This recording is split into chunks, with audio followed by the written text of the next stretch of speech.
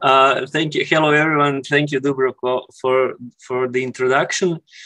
Um, let me start with the date of the conference. Uh, it corresponds with International Standards Day, uh, which is today, the 14th of October. And it was the idea to give our small contribution with this conference. Uh, the idea was to learn from other countries' experiences uh, and it turned out to have the potential to become a platform of specialists for internationally acclaimed standards on the scope of architectural services and fees, or at least defining the basis for the specific national standards according to national specifics and legislation. I borrowed a short video from the World Standards Cooperation since it corresponds with some of the topics we in uh, some way initiated through yesterday's conversation. I want to live in a world that cares about our planet. A world that's inclusive and sustainable, where sustainable solutions are accessible to all. I want to live in a world where there's peace, prosperity, justice, that's innovative and resilient. Everyone deserves access and food. We want a world that's better, fairer, more sustainable for all. With your help, we can achieve this vision for a better world. International standards happen when people around the world choose to work together. They offer solutions we can all get behind. So learn about standards, participate in standards, use standards so we can all make a difference.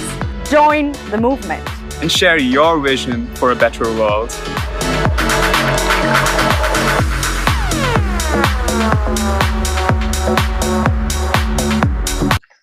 So the idea Uh, of this group uh, of joining in this group is to uh, in some way develop the standards which which we will uh, hopefully hopefully manage to define uh, the value we deliver through our projects as as Axel was speaking yesterday. So yesterday we heard an inspirative story about value from Switzerland by Axel. Uh, one concrete example of, of successful British system by uh, Sarah and uh, Manos. Uh, Carla and Cornell presented situations from Portugal and Slovakia, which were similar to our problems in Croatia. And uh, last, Alex uh, presented their Romanian experience and gave us an idea of the direction we could be heading. Uh, by forming a clear set of standards, we saw the possibility for professional standards to become a system for big data collection and analysis. Uh, in very short, let me say a thing or two on the topic of standards of services in Croatia. Yesterday, Dubravko informed us of the history uh, of the scope of services here in Croatia. Uh, and as he noted, our standards derive mostly from um, German HOAI. Uh, today, our standards cover the topics of urban and space planning, uh, building design or project, which includes new buildings and interior design, and uh, technical consulting and construction supervision. Um, uh, additionally, in Appendix A, uh, a generic cost breakdown structure for buildings is presented. Um, other documents relevant to the topic are contracts, templates, uh, which are rather basic uh, and uh, define scope, fee, and schedule. They are not as elaborate as, as um, Alex presented Romanian uh, examples yesterday, uh, then uh, general conditions, which are um, appendix to the contract and which also require detailed revision. It's one uh, 94 pages document, which um, maybe is uh, too detailed, too elaborate, but that is something to, to be revised. Um, and as Dubravko said yesterday, examples and templates for normative hours calculation. Uh, also, our members are required to comply the code of professional ethics and the number of uh, rule books which are defined by our statute. Um, here we can see uh, one of the three indicative results of the survey conducted last year, from which we see that uh, uh only 39% of the group uh,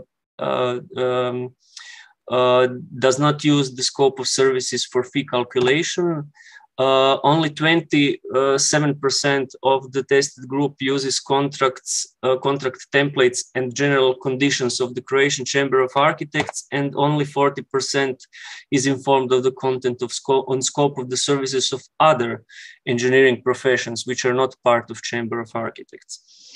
Um, also, in current standards, many services are missing. The big agenda on climate change and sustainability is not included. Uh, the ways and the necessity of collaboration among different disciplines and project integration are not stressed enough. No value. Uh, we can conclude that our standards are maybe outdated. Sustainability, digital transformation, and BIM are only some of the big game changers. And the question is, how do we fit in that, into that picture? Do you see yourself in the left or right picture? Sometimes definitely, uh, something definitely needs to be changed if uh, we don't lose uh, lose the pace uh, that industry has set up set for us. Uh, regarding BIM, let me also mention the BIM guide from 2016, uh, which was made by a colleague and our BIM expert, Vedran Oresic, uh, that only members can access at the moment. Uh, the BIM guide consists of general information about BIM, um, BIM execution plan templates, uh, LOD examples, uh, level of detail, the level of development, uh, classification systems, introduction to classification systems, and data exchange and responsibilities. Um, I personally see BIM as an opportunity for an architect to gain control over the process, uh, since I see the architecture as an art of collaboration. Um, Collaboration requires coordination between stakeholders, and as Axel pointed out yesterday, coordination, and especially in terms of BIM, carries liability, which needs to get paid. Um, the level of trust between professionals and stakeholders is low, so what we can do about that? Um, in the context of BIM implementation, we are slowly moving in the right direction. However, with pro without proper involvement and planning from the government, we do not see the implementation happening overnight in Croatia. Uh, a chapter of Building Smart opened in Croatia last year. It may give a proper boost. But then we architects could easily uh, become endangered species if we don't follow. Um, we see the need for an interdisciplinary approach and teamwork to reconnect the chambers with a strong focus on engineering approach and collaboration in order to increase the values and redefine the scope of services. When we speak of an interdisciplinary approach, we are missing a big engineering chamber that could be follow our lead. Uh, if we are supposed to take liability for everyone's contribution, how do we do that if other services are not regulated in the same way through content, through content or value or something else? The other day, Gideon Maasland from uh, MVRDV uh, had the presentation here in Zagreb, and it seems so easy when you have the opportunity to collaborate with Aeroport Buro Happold, for example. But how to collaborate with small companies on a small budget scale who do not have dedicated people for your design only? How to prevent loss of time on waiting and continuous redesign due to that? If we look from a different perspective, we all play the same game. Uh, and in this case, it's creating of our built environment. I see standards as the rules of the game. As children, we uh, played games, played sports, and probably many of us practice this uh, as adults. All games are defined by some rules. Rules is always adopted by mutual, mutual consensus. If there is no consensus on the rules, there is no game. So if we decide to play the game, we have to play by the rules. So why rules? According to the rules, everyone has the opportunity to participate equally in the game, thereby achieving equally condi equal conditions in the competition. What happens if you break the rules? You are either fined or kicked out. Each profession carries with it certain rules that must be played. The rules carry with them a lot of responsibility and require fair play. Here, Richard Rogers and Renzo Piano are smiling. Why this picture? It's iconic. Is it not enough? Well, trust is also an important part of team play, and we play as part of a large team of different professionals and stakeholders. We should be the coordinator, right?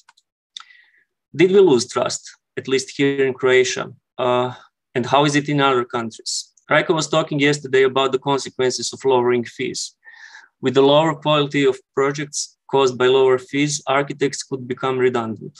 As a final result, the profession could get completely deregulated. The whole building culture in Croatia could go really wrong way if that happens. Trust represents a firm belief in the reliability, truth, or ability of someone or something in our case, an architect. The trust is based on three main values. So, values again.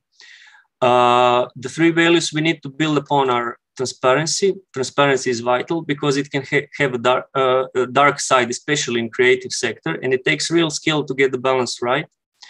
Digital transformation of industry leads to much more transparency than ever before. Communication platforms, visualizations, BIM, virtual reality, augmented reality, and mixed reality are all help a lot in communicating an idea through the construction process. With good planning and organization, it becomes possible to reduce time waste to a minimum. And second, reliability, the quality of being trustworthy or of performing consistently well. And last, ability, the physical or mental power or skill needed to do something. Can we, the architects, be like the supermans of the building industry? So together, these positive values create trust. And in the end, trust creates then that additional room for maneuver.